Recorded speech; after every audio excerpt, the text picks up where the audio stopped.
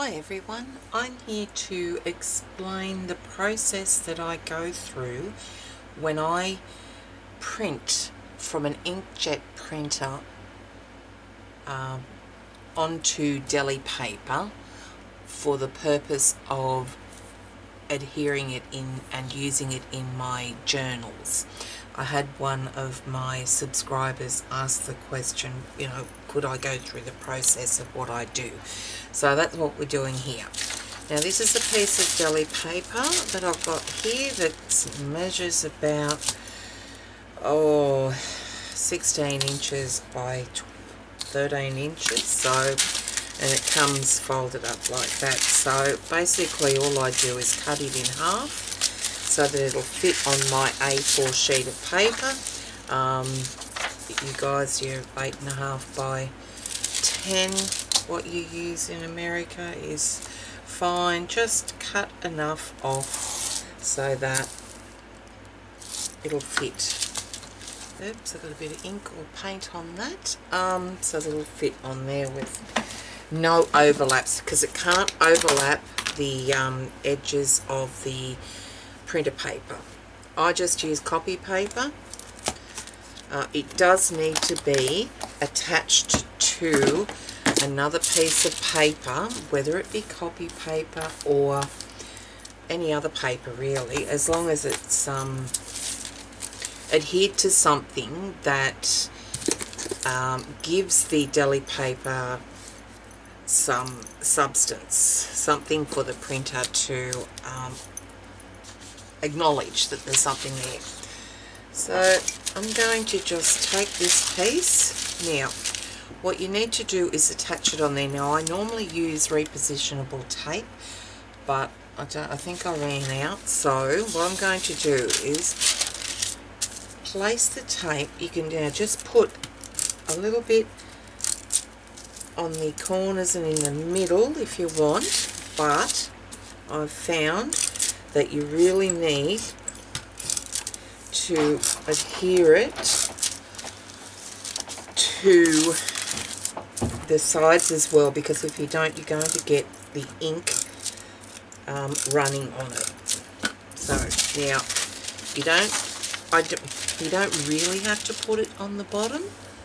Um, all depends on how it sits there. Now, making sure it's really important that you don't get any bubbles in there because it's going to um, sit up and your printer ink's going to um, smear onto it. So that should be sufficient.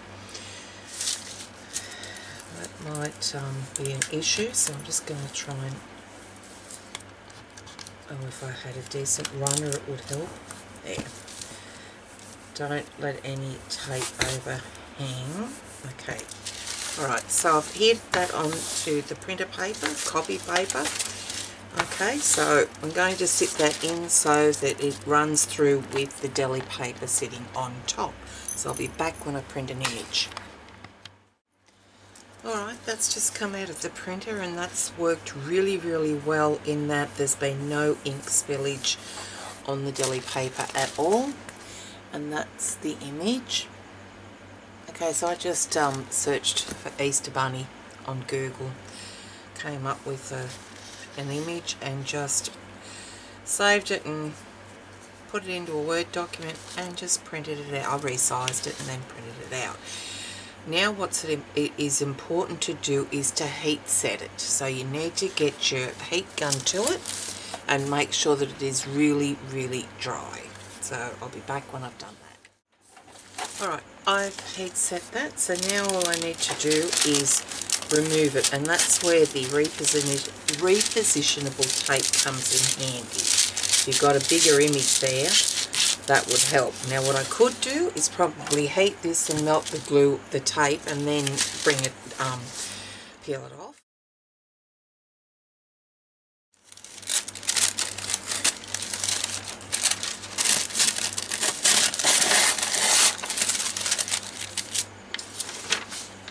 Right, now you just use this um, for your journals, you know, so you don't seep onto the next page. So just slot that in there like that next time you do a journal page. So there we go.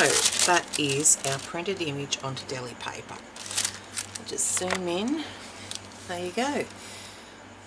See how see-through that is? So it would be great on a background. Alright, what I also did was I printed a, another bunny onto the other sheet of deli paper that I just adhered onto the top and not the sides. And you can see here and this was a good print considering what it could have done. Here and there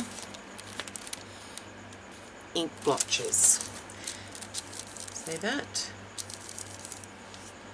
that's from the printer because it wasn't um, flush and secured down with tape on the sides as well. So it is important to tape down at least the top and two sides. I tend to tape down the top, the sides and the bottom.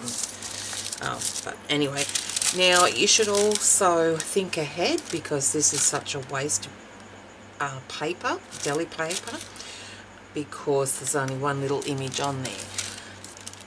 This here I could have printed on as well, another image, but there you go. So, alright.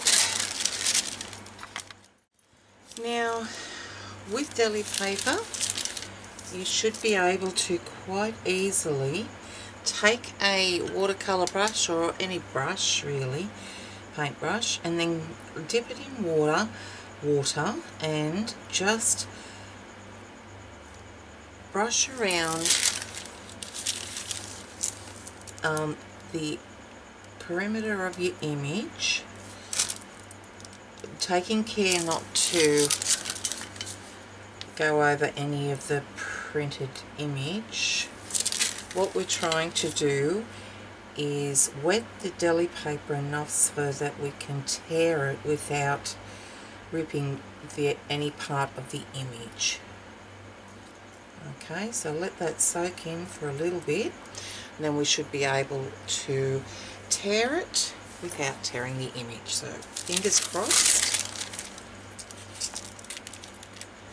And that gives it a a nice frayed edge, not a cut edge, which is too harsh and I find more difficult to blend the image into the page than if it was feathered like this. So, see how easy that's coming away and it's not um, ripping or tearing the dried areas. Okay, just be mindful that you may get your fingers wet and don't touch the ink on the image okay? So I can put that aside to use another day. Okay. Now we need to heat set that before we do anything else.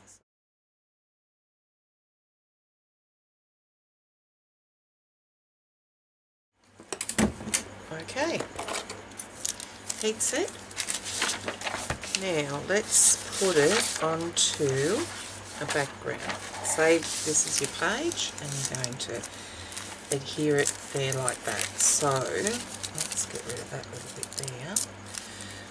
I'll grab now, that's very lightweight, so a bit of um, fluid matte medium should do the job. You can use um, gel medium if you like, it's a bit thicker but um, because it's a fairly light piece of paper I'm just going to use fluid matte medium. So I'm just going to put a bit on my palette and grab a brush. Now I tend to put the matte medium on the back of the image so brush it on the back of the image. I also like to put it on the page. And then I will stick it down. Now be mindful that you could get bubbles in this. Now very carefully just press down the edges with your brush trying to remove any bubbles that are still in there. Okay so it's a few creases. Sometimes you just can't get away from that now see that? I've wet that. So it's starting to run so you've got to be very careful. Some images are fine others not so great.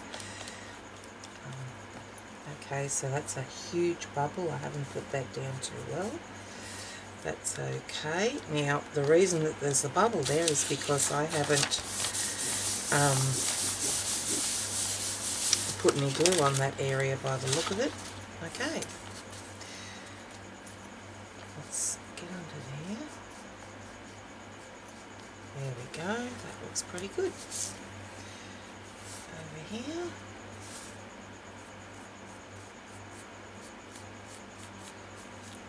And you can see that that's blended in quite not quite nicely.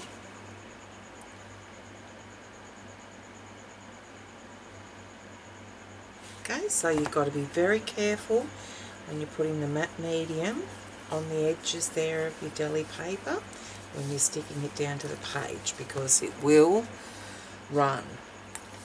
But there you go. Easy. So there's your image. Using deli paper.